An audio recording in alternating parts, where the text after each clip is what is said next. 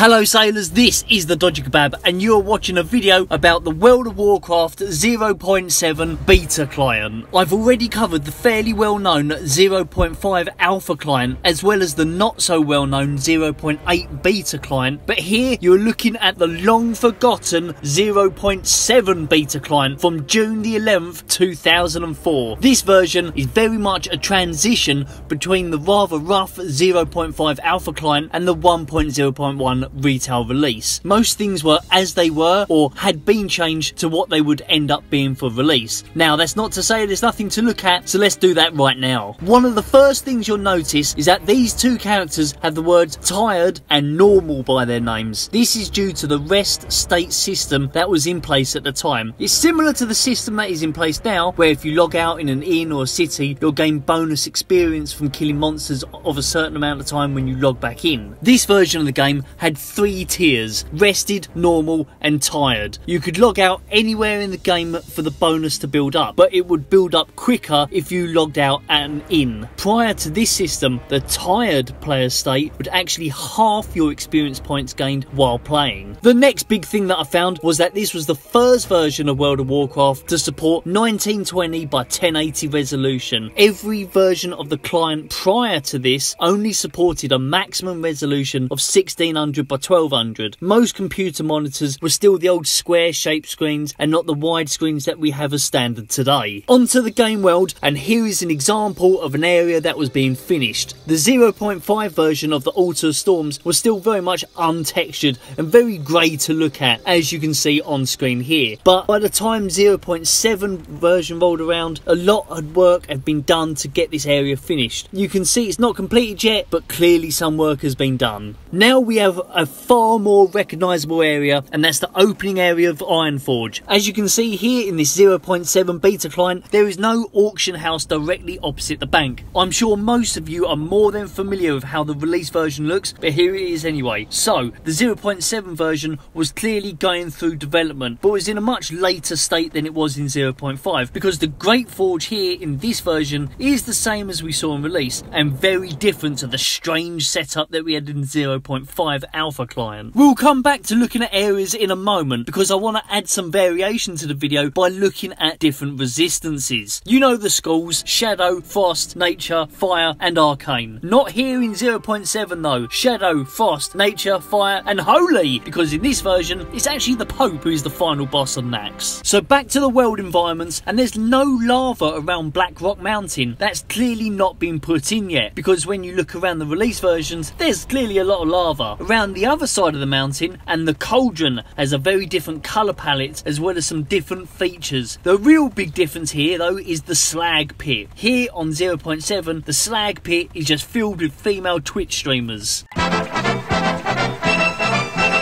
But really, here on 0.7, the slag pit is just a stock cave with no features beyond that. It was yet to be recrafted into the slag pit that we saw in the release version. While we were talking about Blackrock Mountain though, it's worth noting that this was an actual place on the map. It had its own entry in the map log. Another place that had its own log on the map was Scholomance. It wasn't built by this point, but it was clearly in the minds of Blizzard. Gillijim's Isle had been removed from the game after having been present in the 0.5 version. Now, although the mini-map will still so show the name of the location, all that is there by this point is water. On the other side of the world, Ratchet was close to being finished, but it still had some differences. On the pier, there is a large board pointing up into the air, which I imagine was used to board ships that had higher entrances at this point. When you head towards the town, the main buildings are in a slightly different location to how they finished up as. They seem to be shifted to the north a little bit when compared to their retail counterparts. A place Blizzard was still clearly working on was Karazhan. It was placed well out the way so you couldn't reach it, but by using speed tricks I could not only reach it but get inside too. It's a big grey area of untextured blocks. The area inside here is quite large so I'll speed through the footage so I can show you quite a bit off.